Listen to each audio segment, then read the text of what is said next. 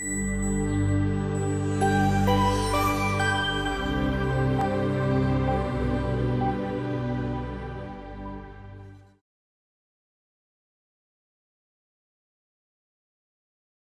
So uh, we're, we're doing the hat trick for people with Wisconsin connection. Um, so obviously I'm from the University of Wisconsin-Madison, and uh, being from Wisconsin, have to talk about cheese. Um, and I think what we're going to be going through will, you can figure out from our whole discussion from this morning as well as this afternoon, that the whole idea of reducing sodium in any food product can be a very complex system. And that's uh, within their dairy products also. Now, when I'm going to be focusing, I'm going to be looking at both natural cheeses and processed cheeses. And the reason why I'm focusing on that is because a lot of the other dairy products, such as yogurt, uh, cultured, other kinds of milk products like buttermilk and sour cream, yogurt, doesn't really have a whole lot of salt in to begin with. Therefore, we aren't really concerned about those. But if you take a look at the whole portfolio of cheeses, all the way from something like a Parmesan cheese to a cheddar to a mozzarella. You have a re really big wide variety of things. And then processed cheese also really encompasses a fairly wide variety of products, such as things that you might find uh, as slices that get put onto hamburgers versus something that might be in a cheese stick, which would be a cheese food, as well as cheese sauces. And all of those are, we're going to be taking a look at what are going to be some strategies in order to reduce salt for those particular products, and what are going to be some of the limitations and all of that.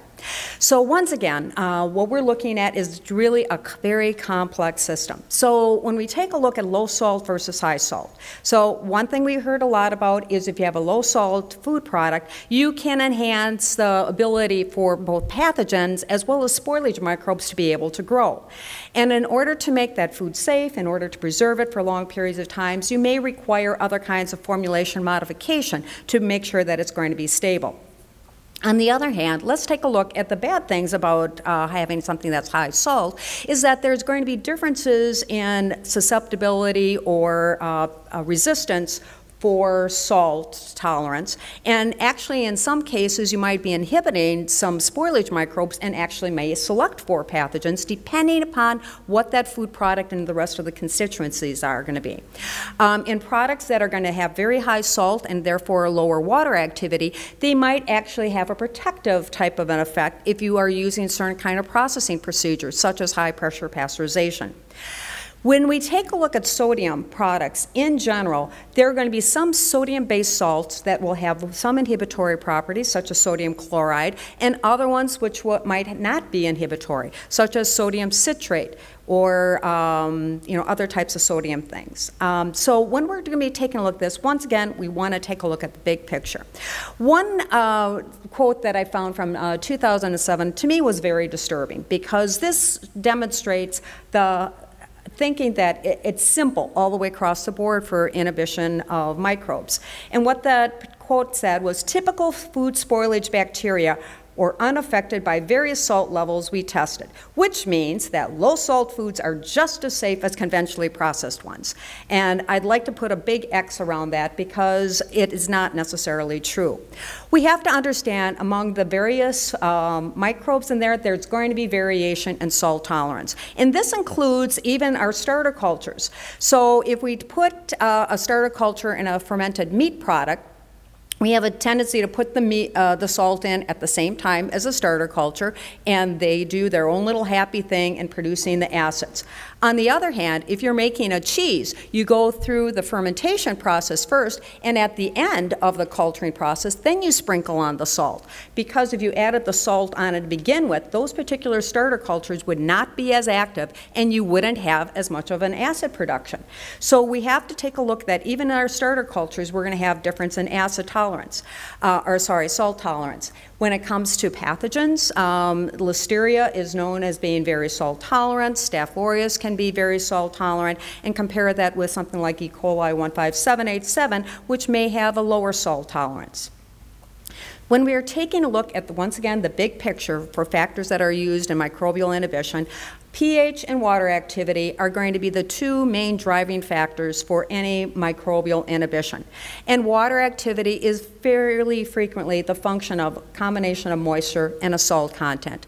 So even at any given moisture content, the higher the salt uh, that you have, the lower water activity. And you can have a lower water activity uh, if you have even a high moisture, but if you have a really high salt level, you can reduce that water activity. So once again, a complex system. When we're taking a look specifically at cheese products, we're really limited with what we're going to be able to add to that product, primarily because of standards of identity. And unlike in a meat product where we might have replaced the sodium chloride with other types of sodium-based salts or potassium-based salts, we can add sodium nitrite, which gives lower levels of sodium but still has very powerful antimicrobial activity.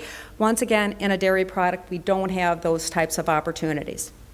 So in a natural cheese, we're going to be really focusing on starter cultures and non-starter lactic acid bacteria, which will serve as competitive microflora. You'll also be taking a look at acid production. It might be in the form of lactic acid or propionic acid, depending upon what that starter culture is going to be.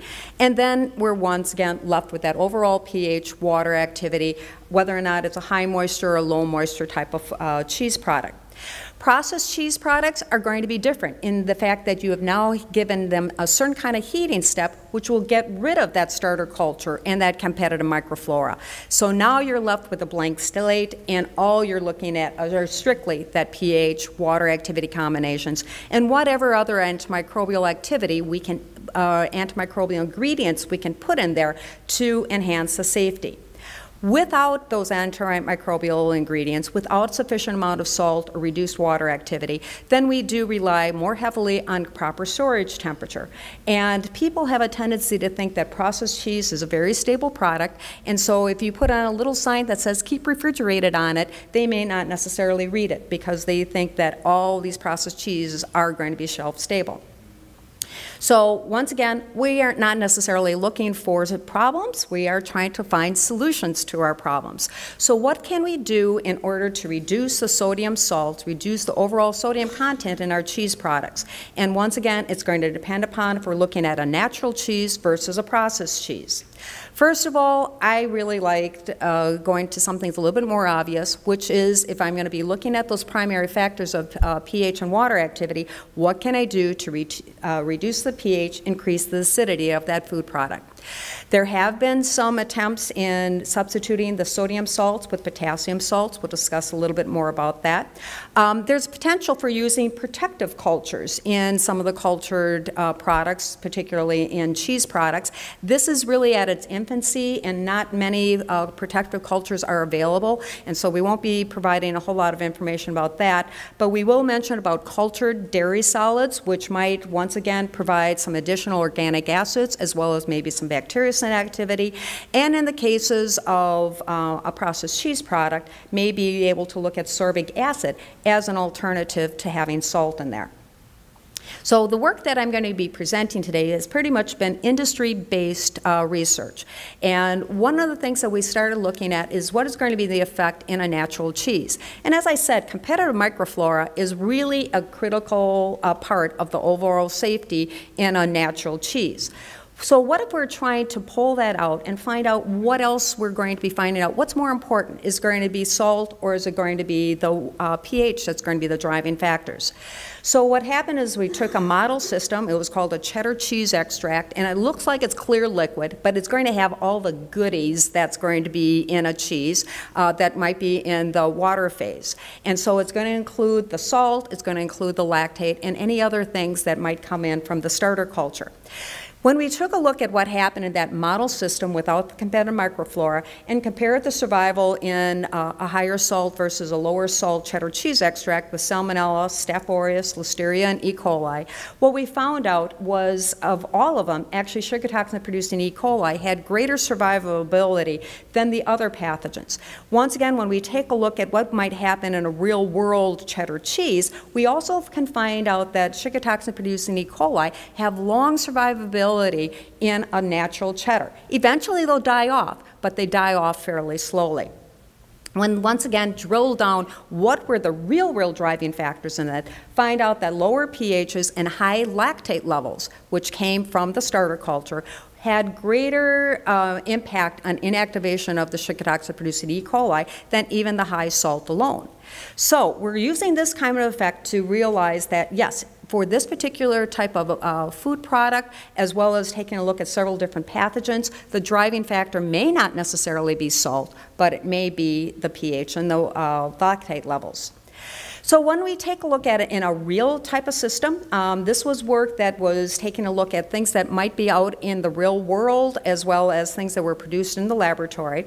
But what we're going to be able to see over here is comparing uh, a traditional uh, cheese, a traditional higher salt cheese with 1.7% salt versus a lower salt cheese which had only 0.7% salt.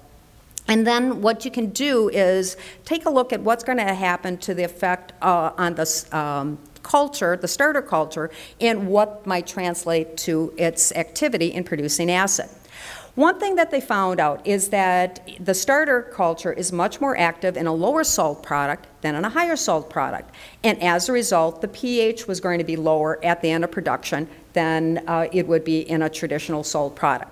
So in this particular case, if you look at the top line of wash, for each one of those categories. The pH at the end of uh, culturing for the washed ones for traditional was a 5.2. For the low sodium one, the pH was a 5.3. But this was a wash system. So what they did was they took out any of that extra lactic acid. If you took a look at the low, no wash one, which would be more representative of what the starter culture is going to do, the pH, once again, for the no wash one, for traditional one, was a 5 versus the, the no wash for the reduced sodium one was a 4.8. So we're seeing here is that Without the salt, you have greater um, starter culture activity, more acid production, and there's going to be more acid. So you think, wow, this should be a great thing. So reduced salt cheese should be a safer product because you have more acid in there. But what we have to take a look as the next uh, issue is the fact that you have the higher acidity, you potentially uh, poorer quality throughout the shelf life. So what the um, manufacturers are going to do is then uh, take uh, the curd, they're going to wash off the excess acid, and now you're left with a higher pH product than you would without having that starter culture in there. So ultimately, what you're looking at for a real product would be under the washed ones, that's going to have low sodium, higher pH, and now you don't have that same level of safety as you do in a traditional product. So here's an example where we are looking at um, the fate of Shiga toxin producing E. coli in a low salt cheddar, comparing it with a full salt cheddar. And uh, what we are going to see in here, if I can find the pointer, um, is two different types of products, pH of a 5.7 and a 5.4. When we have the lower pH, and it didn't matter if we had a 1.3% added salt or 1.8% salt, both of them had the same level in activation of Shiga toxin producing E. coli during storage.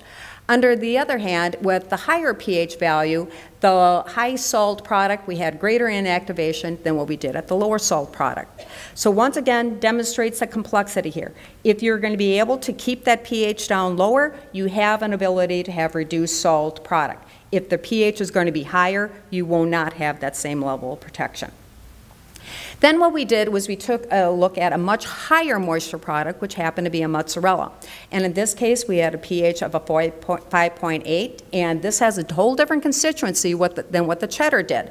And this particular thing, we had the target microorganism of Listeria monocytogenes in there, and found out that regardless of what the salt content was, we had very substantial amount of growth of Listeria monocytogenes.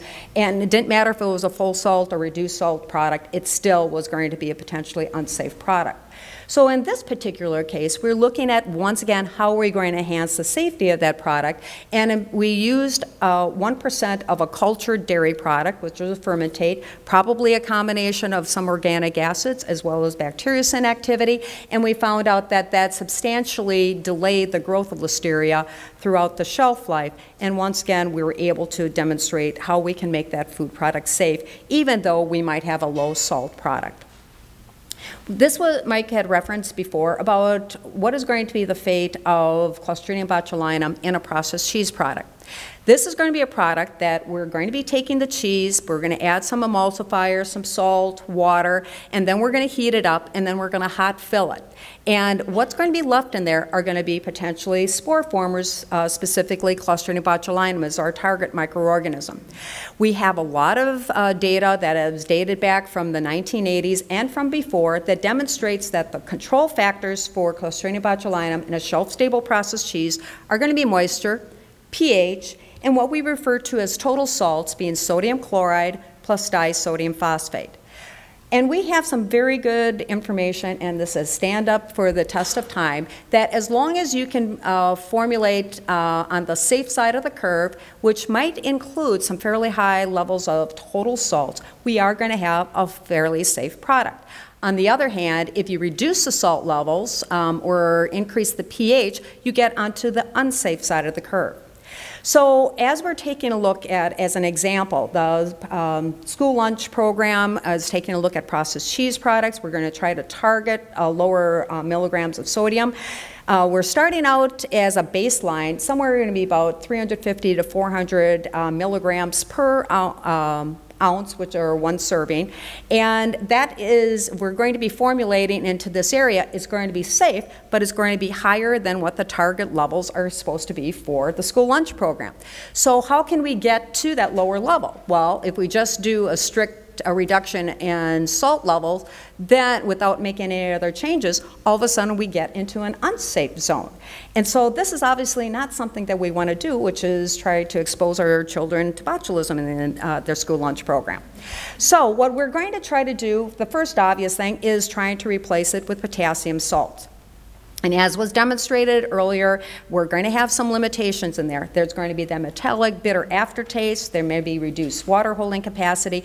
And if you're adding on a percentage basis, we'll have uh, reduced antimicrobial activity.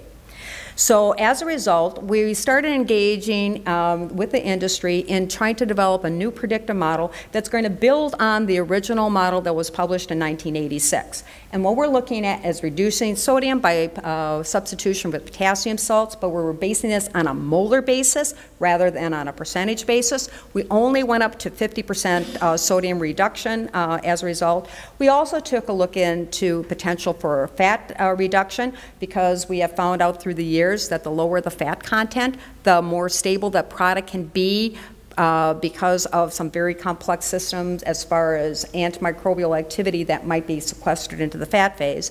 And then we also added sorbic acid as a growth inhibitor. What I want to show you now is going to be some examples that we got from this particular model. And notice that this is just a model system. This is not meant for people to take out directly and to make into a product. But let's say, for instance, that we're going to start with a model system about 50% moisture, pH of a 5.4, and we're going to be comparing something with 4% uh, total salts, and that includes sodium chloride plus disodium phosphate emulsifier. And what's going to be for milligrams of sodium per serving is about 400 60. This goes beyond the level that we want to be able to have. But what we find out is that we can have 42 weeks out of refrigeration before that potentially has uh, some concern for safety. On the other hand, if all we are going to reduce is the sodium content by reducing the total salt, we will hit our level of sodium target, but we're going to reduce our time to failure from 42 weeks to 5 weeks. Once again, very substantial uh, reduction in safety by reducing the uh, salt content in here. In this particular case, what we did was we, we still reduced the sodium content, but we kept the total salts the same by substituting in potassium. And so we have, once again, this is on a molar basis, not on a percentage basis, but did a 25% potassium replacement and a 50% potassium replacement, and found out that uh, statistically they weren't significantly different for the amount of level of safety compared with if we came down to that same level of milligrams of sodium but didn't include that uh, uh, potassium replacement, we have definitely much, much difference in the time to toxicity for each one of those. Now, once again, because there is the potential for um, that off flavor when it comes to potassium salts, we took a look at some other options, which is adding uh, sorbic acid. And we've known for decades that sorbic acid is a very powerful antibotulinum agent, but it hadn't been included in any of uh, the models. So in this particular case, once again, we took a look at the total salts being a lot lower. Um, so we hit our milligrams of sodium that we were going to be for the target. But you can see as you add uh, 0.1 and 0.2% sorbic acid, once again, you've substantially increased the amount of safety from uh, only five weeks to failure to over a year to multiple years uh, of safety just by adding 0.1 or 0.2% sorbic acid. So once again, demonstrating how powerful this can be. And this is going to be a real potential in a way in which we can reduce the sodium content by adding a certain kind of an ingredient. Now, the problems with sorbic acid is that in some countries, sorbic acid is not allowed. And so if you wanted to uh, transfer this to Japan, you would be out of luck. And because they don't allow sorbic acid as being part of their processed cheese. Now, this is once again just a model, and it does need further validation, and as discussed, that does take time. But what this demonstrates is that there is potential to reduce our salt content through a couple of different mechanisms. But it can't be just uh, strict uh, salt reduction. It's going to have to take in consideration other types of additions.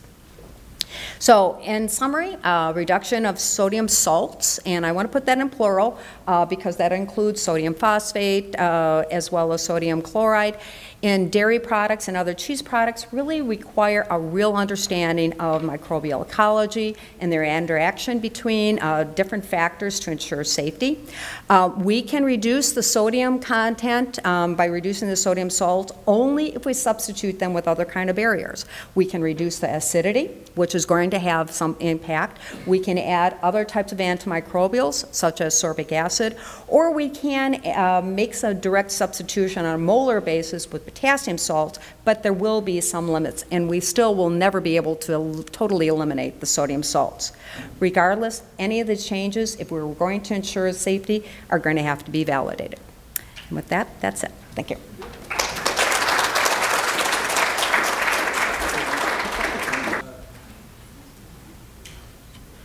This one? Okay.